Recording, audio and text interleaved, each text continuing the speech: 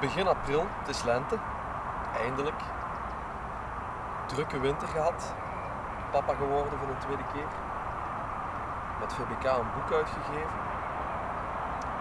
En nog wat andere dingen gedaan. Uh, tussen het slaaptekort uh, wat stelselmatig opbouwde door. En nu hier op Heilakker, mijn thuiswater, voor de eerste sessie van dit jaar. Het is uh, hier sowieso al een water wat vrij traag op gang komt. Uh, maar er is dit jaar nog niets gevangen. Nog geen enkele karper. Een nachtje geblankt, nachtje en een ochtendje geblankt in de kleine kom. We hebben dan besloten om uh, rond de middag om de hengels binnen te draaien, om even wat te eten. Uh, een zeer goede pasta met scampi's, al zeg ik het zelf alleen. Die altijd moeilijk zijn. Uh, en daarna verkast naar hier. Stek die bekend staat als het Oostblok. Vraag me niet waarom.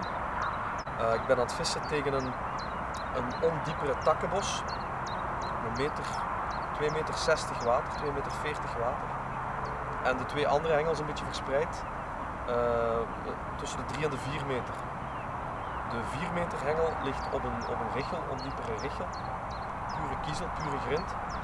En die, die hengel op 3 meter diepte, die ligt tegen een andere onderwater jungle aan. Een metertje of 3, 4 ervan af.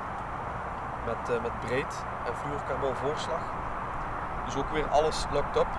Vissen krijgen geen, geen, geen 30 centimeter speling. Maar dat lukt en dat gaat uh, hopelijk ook vannacht of morgen vroeg lukken. Om er toch eentje uit die zone te kunnen, kunnen haken.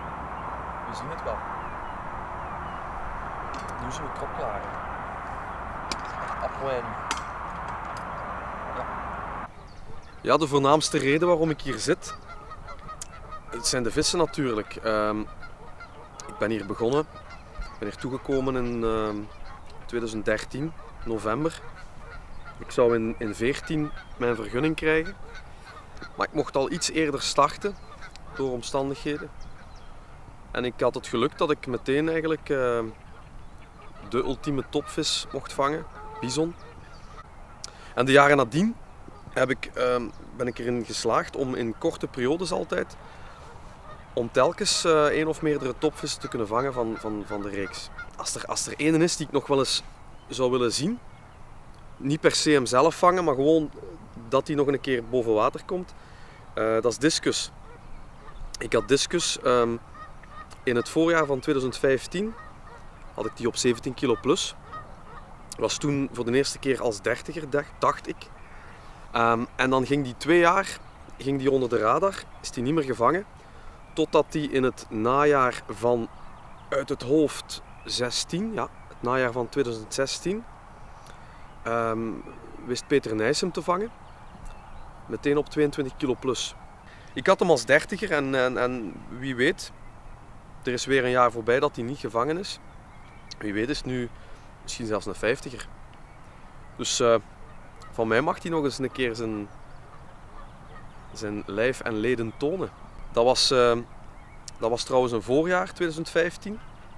Dat alles lukte. Ik ving iedere sessie toen ving ik mijn vissen. Altijd wel een mooie vis bij. Een aantal moeilijke klanten ook. Ik had toen ook uh, echt wel mijn zinnen gezet op single scale.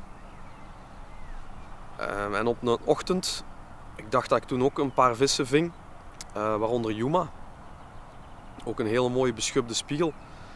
komt Theo met, met een smile van oor tot oor, komt hij aan mijn stek. Ah, hoedemakers, heb je goed gevangen. Ik heb ook, ik heb ook in, een gevangen.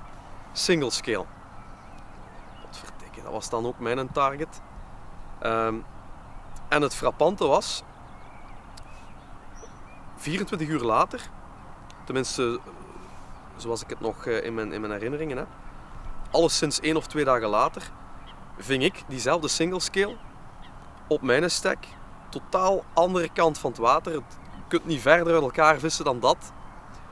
Maar blijkbaar uh, had single nog niet genoeg van het, van het aas. En kwam die ook bij mij nog een keer boven water. Er is juist ene die mij nog altijd ontbreekt. Uh, dat is de, de zwaarste schub hier, Mary.